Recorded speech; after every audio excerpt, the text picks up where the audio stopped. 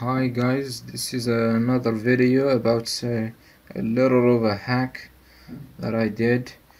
Uh, oh, what this is is a just an LED light that is uh, powered frame or whatever.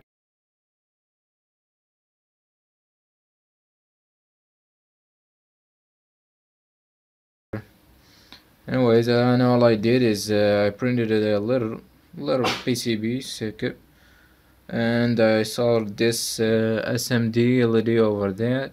And I added a resistor to limit the current. And then soldered the wires to it and that's all there is to it.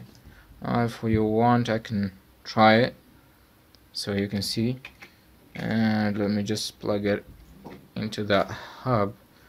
And as you can see there is the light. It's pretty bright and I like it. And it's pretty useful when it comes to you know you want to show the keyboard of your your laptop or something or you want to do some or you just need some light. You can use it with a power bank or any USB or any device that has USB port.